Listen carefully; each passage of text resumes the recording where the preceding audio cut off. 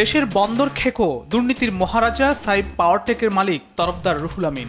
বহুরূপী তরফদার রুহুল আমিন গত ষোলো বছরে বন্দর থেকে হাতিয়েছেন দশ হাজার কোটি টাকার বেশি। বাংলাদেশের অন্যতম একজন টাকা পাচারকারীও এই তরফদার। দুবাইতে দুটি ফ্ল্যাট, দুবাইয়ের ধামাক এক্সেল টাওয়ারে বিলাসী অফিস। পূর্বাচলে আছে শতাধিক প্লট।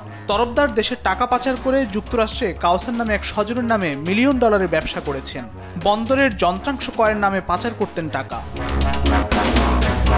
দুই হাজার চার সাল থেকে রাষ্ট্র ক্ষমতায় যারাই ছিলেন, রূপ বদলে তাদের লোক বনে যেতেন তরফদার রুহুল আমিন। আইনকে বৃদ্ধাঙ্গুলি দেখিয়ে দেশের সব কন্টেইনার বন্দরের হ্যান্ডলিং এর কাজ যোগ সাজসে নিয়ে নেন গত ষোলো বছর ধরে। কোথাও টেন্ডার, আবার কোথাও টেন্ডারবিহীন ডিপিএম পদ্ধতিতে নেন নিজের সুবিধা মতো। শুধু তাই নয়, চট্টগ্রাম বন্দর থেকে শুরু করে দেশের সবগুলো বন্দরের ছোট বড় ঠিকাদারি করতেন সাইফ পাওয়ারটেকের মালিক তরফদার রুহুল আমিন। তরফদার রুহুল আমিনের সবশেষ চোখ পড়ে মংলা পোর্টের দিকেও। তার একাংশের ঠিকাদারি নেন এই দুর্নীতিবাজ তথাকথিত ব্যবসায়ী। দেশের গুরুত্বপূর্ণ সব বন্দরের ঠিকাদারে হাতিয়ে নেয়ার মাফিয়া তরফদার রুহুল আমিন এখন লক্ষ কোটি টাকার মালিক। দুহাজার পাঁচ সালে তৎকালীন ক্ষমতাসীন বিএনপি সরকারের মন্ত্রীর লোক সেজে ঢোকেন চট্টগ্রাম বন্দরে। এরপর ওয়ান ইলেভেন সরকারের সময় সেই সরকারকে ম্যানেজ করে চট্টগ্রাম বন্দরের ঠিকাদারি অব্যাহত রাখেন। আর দুই হাজার আট সালে আওয়ামী লীগ ক্ষমতাসীন হলে পুরোদস্তুর আওয়ামী লীগার সেজে চট্টগ্রাম বন্দর সহ আশপাশের সব বন্দরের কন্টেইনার হ্যান্ডলিংয়ের কাজ নিয়ে নেন।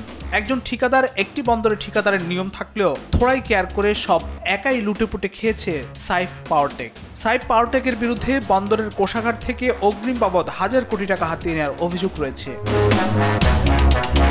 সাইফ পাওয়ারটেকের তরফদার রুহুল আমিন চট্টগ্রামের কন্টেইনার টার্মিনাল হ্যান্ডলিং ঠিকাদারের পাশাপাশি নেন চট্টগ্রামের নিউমোরিং কন্টেইনার টার্মিনালের চারটি বার্থ তাতেও ক্ষান্ত নন সাইফ পাওয়ারটেক। ঢাকা কমলাপুর আইসিডি, কেরানীগঞ্জের Pangaon container terminal, overflow container yard ও সাউথ কন্টেইনার ইয়ার্ড এককভাবে নিজের নিয়ন্ত্রণে নেন ঠিকাদারের সবটা। বন্দর ঠিকাদারের জগতে একচ্ছত্র মাফিয়ায় পরিণত হন তরফদার রুহুল আমিন। আওয়ামী স্বৈরশাসনের দোসর তদবিরবাজ তরফদার রুহুল আমিনের সামনে দাঁড়াতে পারেননি কোনো ব্যবসায়ী। এর সবই করেছেন তৎকালীন ক্ষমতাসীন শেখ হাসিনা সরকারকে ম্যানেজ করে। তরফদার রুহুল আমিন শুধু বন্দরই খাননি, সড়ক, মহাসড়ক, বিদ্যুৎ খাতেও ঠিকাদারি করে দুর্নীতির মাধ্যমে হাতিয়েছেন হাজার কোটি টাকা।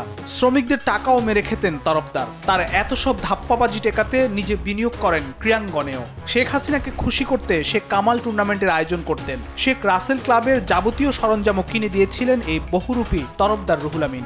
অর্থ হাতিয়ে নিতে সাইফ পাওয়ারটেক সাবেক নৌ পরিবহন প্রতিমন্ত্রীকে দিয়ে বন্দরের কন্টেইনার হ্যান্ডলিং এর খরচ আট শতাংশ বাড়িয়ে নিয়েছিলেন। কথিত আছে, বাংলাদেশ ফুটবল ফেডারেশনের সভাপতি হতেও নাকি তদবির চালিয়েছিলেন তরফদার রুহুল আমিন।